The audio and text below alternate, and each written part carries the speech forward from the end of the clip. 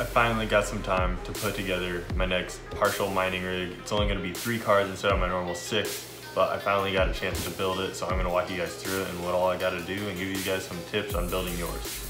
All right, so first things first, how I do my mining rigs, I normally make plywood bottom and just have kind of wooden sides, and then a lot of times for a normal full mining rig, I'll have little shelves coming up that the GPUs um, will sit on, but this time I don't have that because it's only gonna be a three card rig, so each one can just sit right into the board itself. So it's gonna save me a little bit of time, a little bit of effort, and I'm not gonna have to use PCIe risers, but I am gonna walk you through that process as well.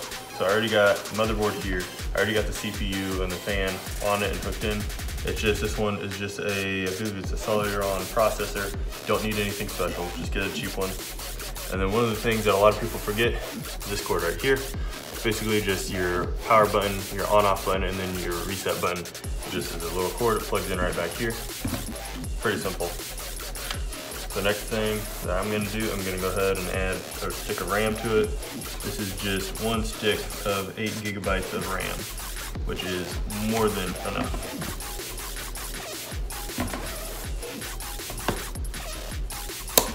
There we go.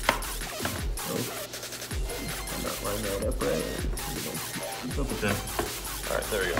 So RAM is in. And then um, I do want to have a little bit of a disclaimer. Plywood is not really the best um, for using this because the graphics card will get hot. It's a potential fire hazard, but these aren't going to get that hot, which is why I'm using it. So it should be fine. So next thing up that I'm going to go ahead, I'm going to move over actually the graphics cards and just hook them up. So I'll do the back one first so you can see. Essentially you just line it up here. Right, maybe. But, oh, that's why. Little, I have a little slit in the plywood here so that the graphics card will sit nicely in there. We might have to lift it up a little bit to get them to snap into place properly. And there you go, that snaps in to know, let you know it's in place. And I have a little slit right there for this metal piece to go down into. That's one done. I'm gonna grab the next one.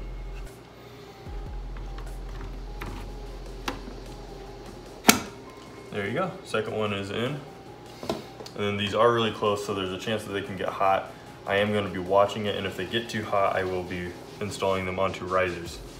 On that note, so how a riser works, I have a couple right here, give me just a second. This is what a riser typically comes with. It comes with the board that is the riser itself. It comes with this SATA cord that plugs right into here. That's how you power the riser and then it comes with this USB part that goes into the motherboard itself to make the connection and that's how the motherboard and the computer read the uh, GPU. Now, here's the thing that they don't tell you. This, this is not capable of running enough electricity to power the riser properly.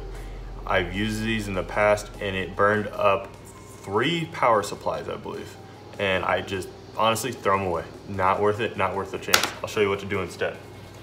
Instead, use this six pin to Molex adapter. Essentially what you do, plug it into here.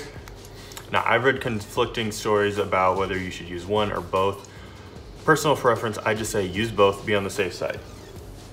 And the Molex power cord, just like this, plugs one end, plugs into the PSU. The other end, you take two of these, and plug them into each one. And I would only do one riser per cord just to be on the safe side.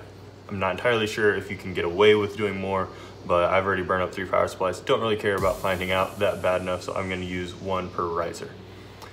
So that is how you would do it if you hook, up, hook it up as a riser. You just, same thing as a slot on the uh, motherboard here, same thing, just hook the graphics card in, and then typically what I would do, you just take this end here, and you slide it in to the PCIe slot, and then I would run it and I have a shelf about right here so that the graphics card is sitting just above the motherboard. And that's how I handle the risers.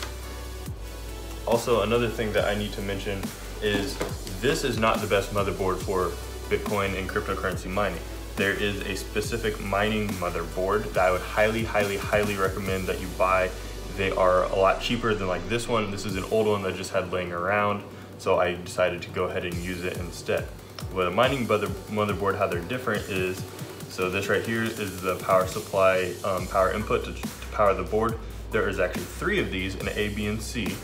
And the reason for that is that A will run the motherboard and all the things, and then the first section of uh, PCIe slots. And then there's actually three different sections labeled A, B, and C on the motherboard. So you can have up to, I believe it's 16 graphics cards plugged in using the risers. There's only one full, um, full PCIe slot and then the rest are these mini ones like this that you have to use for the risers. So as you can see, only the riser cable will fit into here, just like so. But you can plug a riser into the normal slot as well. But so that is why I would definitely recommend getting the mining specific board. It's definitely worth it, definitely worth the money. And when it powers on, it even tells you if the cards are are green for good, yellow for there's a connection issue, and red for they're not working, they're not responding, there's an error with them. So it's really helpful in troubleshooting as well. So I'm gonna go ahead and hook up this last graphics card here. There we go, right like that. Pretty good. Get this out of the way as well. Next thing is I already got some of this stuff all hooked together, but so we have right here the hard drive, which I need to get this cable unhooked. And I'm just lining it up with the first SATA cable slot, which is right there. Plug that in, already have these cords hooked up, and then the power supply is the next thing that needs to go on here. It's gonna go right here, make sure to get this cord out of here.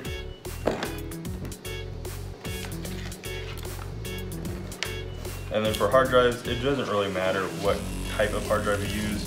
I typically use an SSD hard drive. That's what I'm using for all of my rigs downstairs that are already currently running. But I had this old hard drive laying around, so I decided to go ahead and use it. Basically, all this stuff is from when I first started mining. I didn't know a whole lot, and so I got some stuff and just kind of started. And I've learned a lot since then. I've gotten newer equipment, and it's all being used right now. And I had this laying around, and I decided to go ahead and hook it all up and get it going. So now you gotta run a PCIe cable to each of the GPUs. This goes in right up here on the top. Oh, this is CPU cable, sorry. But, so this one plugs in back here to power the CPU. Now, now we have the PCIe GPU cables going in here. So these ones are three plus two, or six, sorry, six plus two cables. So pretty much what they do is they slide right on out. These ones are a little difficult. They're brand new. and I had to order some new cables because the the old power supplies burn up the last one. So there you see you got six plus two. So these are 1060s, the six gigabyte cards, so they only need these six pins. The 1080s a lot of times will need eight, sometimes even more. So they just slide in there right like that. I'm again using one cord per each graphics card. Or I know the 1060s you can actually get away with like using this cord for both of them. So like I could spin this over and plug it in here as well. Since I'm only having three on this single motherboard, I'm not going to. I'm only gonna, I'm just gonna use three separate cables. And this power supply is big enough to run all three of them I can't remember exactly um, the size of the power supply. I believe this one is a thousand watt power supply, so it's plenty enough. It's plenty uh, of watts to power that, to power all these three in the motherboard together. That is definitely something to check into, and I'll probably make a, another video on that in the future because I will be making another um, mining board, uh, mining rig setup in the near future because I will be expanding, I still have another six 1060s, the three gigabyte versions. They're small cards, they're not very efficient, but they still do make a profit. So I will be putting those together at some point in the near future. So now we're essentially done. I have this little slot here so I can move the motherboard a little bit. There we go. So now, to what you do, you plug an HDMI cord into the side here and have it plugged into your monitor and then you just plug the power supply in and then you turn it on. All you do to turn it on you press the screen button here it'll power up just like a normal computer and you have little display on the monitor. Still have the USBs for monitor, oh sorry, the keyboard and mouse that's pretty much it. That's really all you got to do after that point. It's a software program. I use NiceHash Miner and you just run it like you would install any other piece of software. And that's about it. It just starts going and it will go for a very long time. A couple key things to mention if you are not plugging these cards directly into the board, if you are using the miners, make sure that you use these Molex splitters. Do not use the SATA cable that comes with it. You will burn up your power supply. It will not be fun. And it is a very bad fire hazard because we about had a fire when when my last one burnt up. It is not fun. You do not want to deal with it. Just take my advice and do not use those at all for the risers. So that about does it for today. And thanks for watching guys. If you have any questions, feel free to drop them below and I will get back to them. I will answer as many as possible if there gets to too many. But I will try to answer everything that you ask. If you have any comments, if you have any suggestions, go for and ask. Again, thanks for watching. Like, comment, subscribe, and I'll catch you on the next one.